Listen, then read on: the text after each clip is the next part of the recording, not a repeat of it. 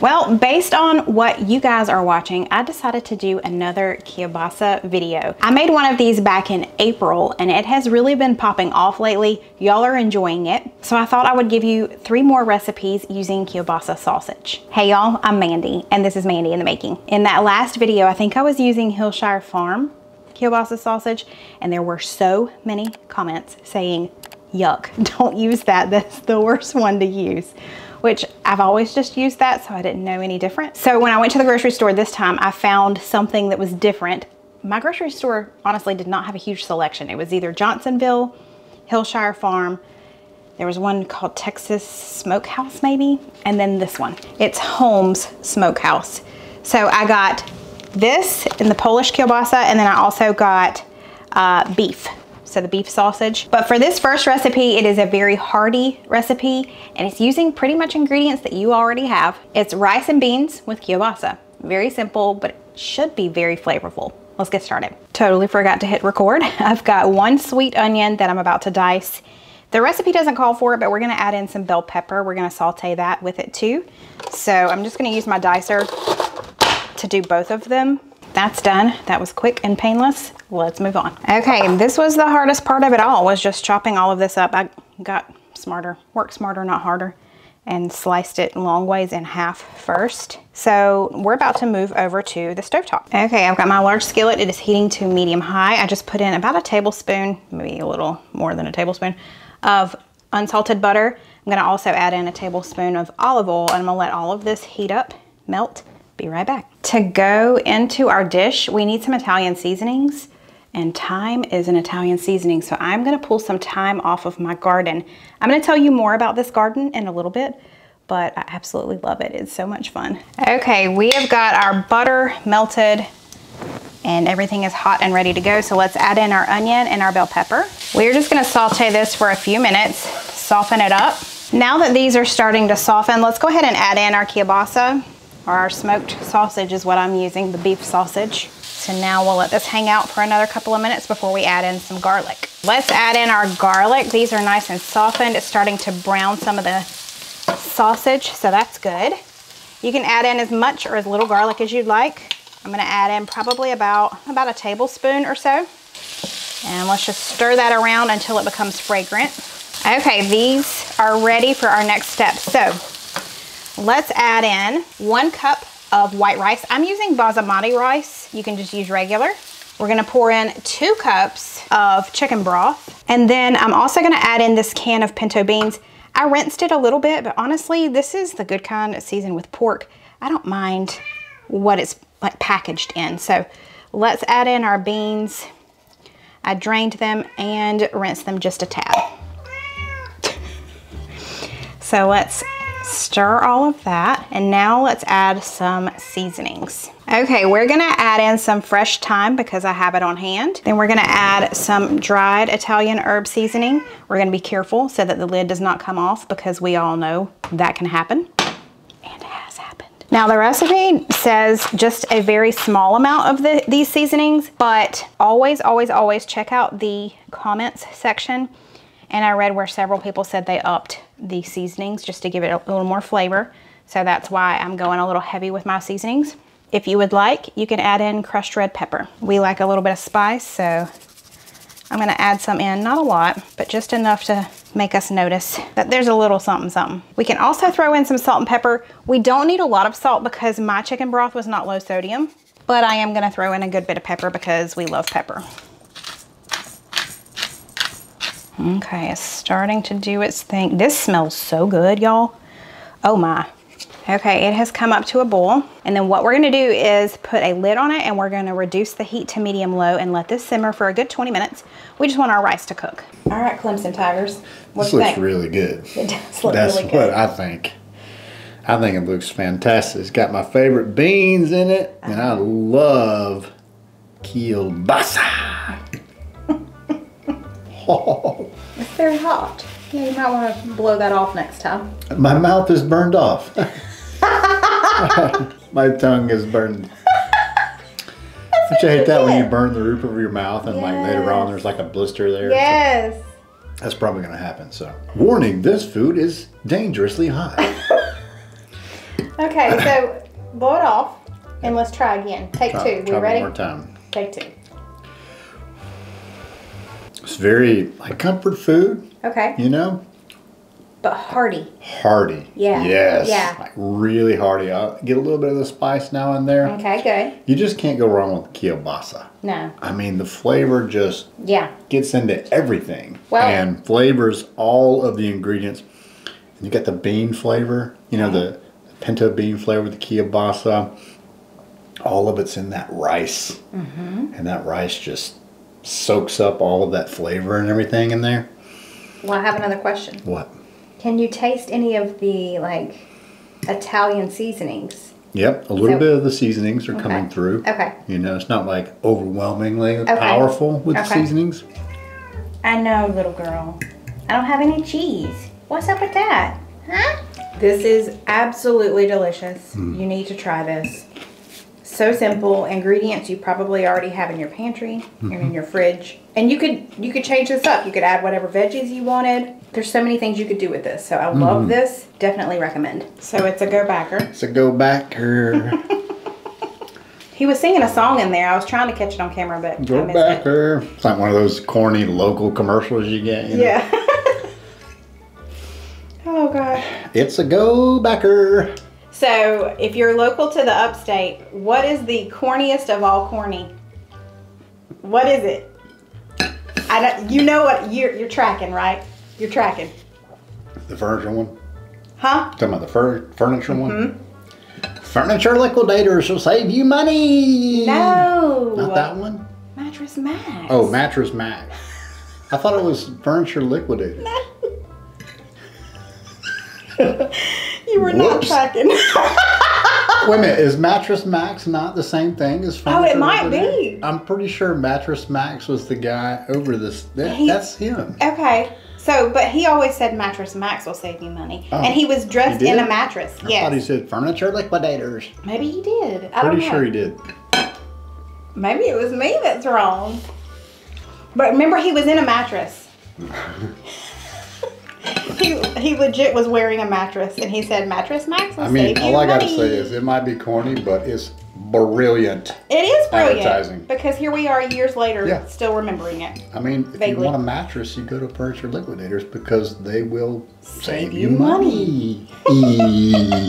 Just hopping in here really quickly to thank Gardyn for sponsoring today's video. We've had our garden for a couple of months now and we really love it. I don't have a green thumb and it, I've kept it alive and it is thriving. Did you know that grocery store produce can lose up to 50% of the nutritional value? So by harvesting fresh produce with Gardyn, you get maximum nutritional value and it makes it really easy to integrate fresh produce into your everyday. So when you get your garden shipped to you, you put it together. It is pretty easy to put together. Not only does it come with instructions, but it also has videos that you can watch for a step-by-step assembling your garden. You get to choose what fruits, vegetables, herbs, and or flowers that you want. They have over 60 to choose from. Gardyn carefully selects organic, locally sourced, and non-GMO seeds for diverse, high-quality produce. Once you set it up, you put enough water in the base and you utilize their app. With your garden membership, you have an AI assistant named Kelby, and it uses the advanced sensors and cameras to keep tabs on your plants 24 7. And it will coach you. It will send you little notifications telling you what you need to do for your garden. How cool is that? So it's gonna grow your garden using hydroponic technology and LED lights. And because of that, you're gonna be using about 95% less water than you would in a traditional garden. I think it's really cool that I can go into my app and I can see my garden real time. So if we're out of town, I can check on my garden. Actually, if you're out of town, you can put it in vacation mode and it will adjust the lights and the watering schedule so that you have worry-free growth. We have really been enjoying the salads that we've made from it. And I have to say it is the freshest salad I have ever had. So be sure to check out Gardyn.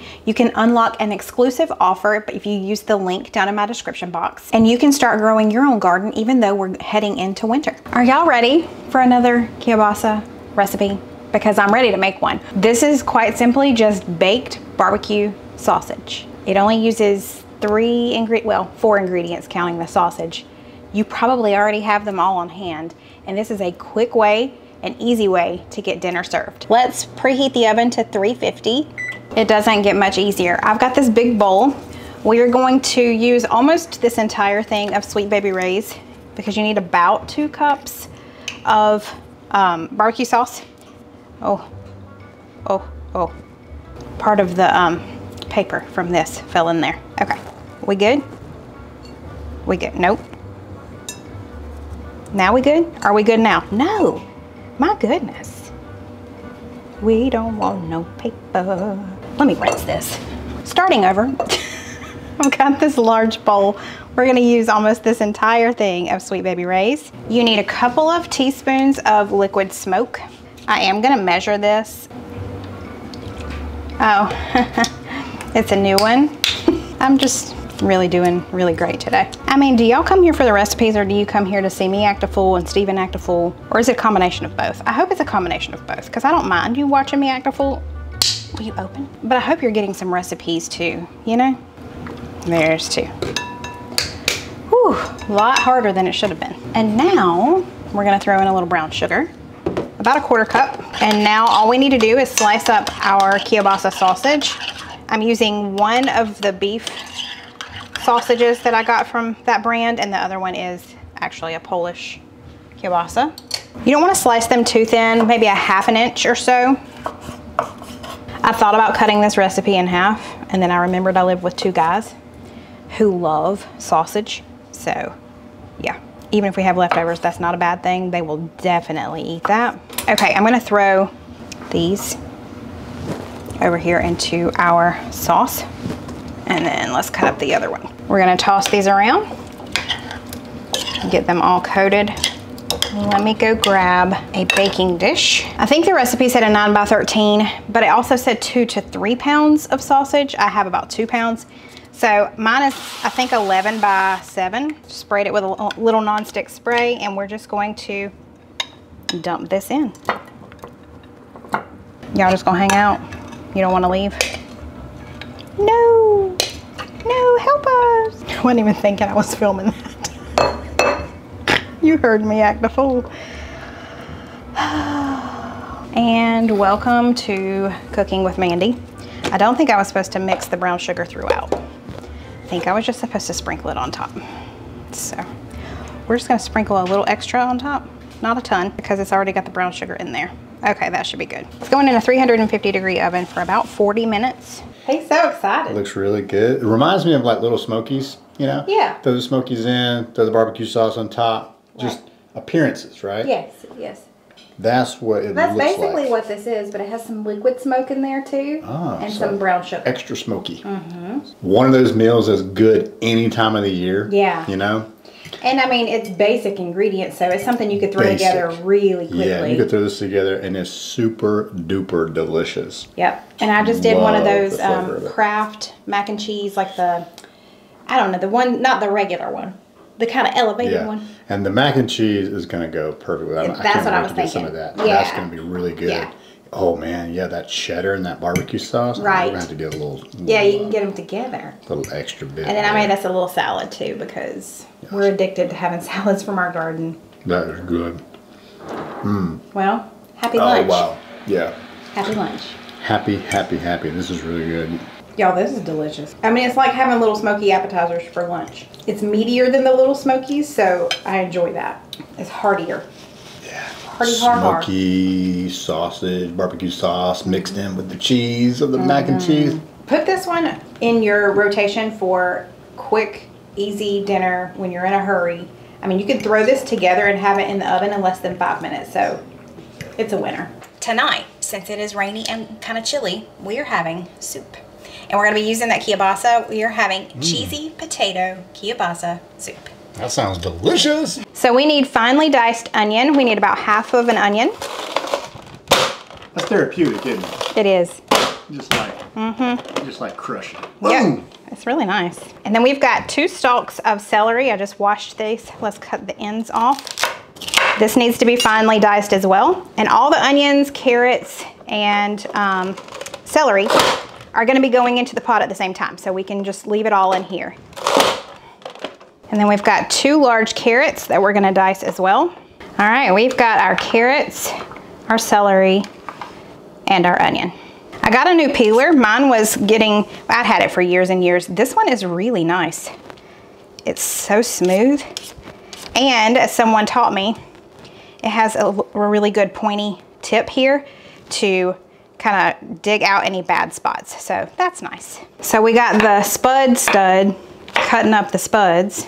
Oh yeah. He's just cutting them into like one inch chunks. We're gonna put them in this bowl and add some water so that they don't brown because we don't need them quite yet. Now he's going to slice this uh, kielbasa into like I don't know, quarter inch, half inch slices. Okay, so I've got this large Dutch oven, a little bit of olive oil in there. This is on medium high heat and Steven's gonna add in our kielbasa and we're gonna cook this for five to six minutes. We'll stir it around, get it kind of brown and then we'll take it out. Okay, this has been cooking for, I don't know, four or five minutes and we're gonna remove it now to this plate over here with paper towel on it. So there was still some fat behind from the kielbasa, but he wanted to add a little more olive oil. We're gonna add in all of our carrots, onion, and celery. And then we'll also add in a couple of cloves of minced garlic. And we're just gonna saute this for two, three minutes. So Steven's just gonna add in a little salt and pepper as this is cooking. So he's gonna add our garlic in.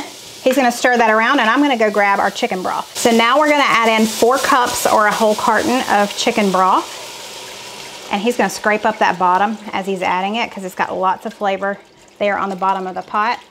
Once he adds that in, we need to also add in our potatoes. So I'm gonna drain those really quickly. Get that water off of there. We're gonna bring this up to a boil and let it boil for about 15 minutes. You want your potatoes to get fork tender. What was that, Spud Stud?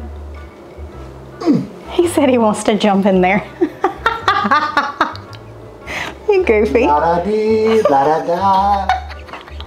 So this has come up to a boil. So what we need to do is reduce the heat and cover it. We're gonna let it simmer for about 15 minutes and we'll check it after that 15 minutes and make sure that they are fork tender. Ma'am, say it's been a minute since I've seen the camera, but I know that the camera's out. What does that mean, Gracie Lou?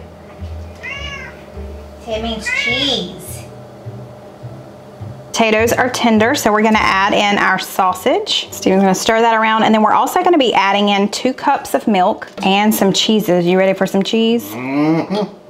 Okay, we've got two cups of shredded cheddar, and then about a half a cup of shredded Parmesan. Okay, we're just gonna stir that in, and we're gonna let it continue to cook just for another five to 10 minutes, just until all of that cheese melts and it warms through and then it will be time to eat. It looks creamy, it smells delicious. Wow, yes.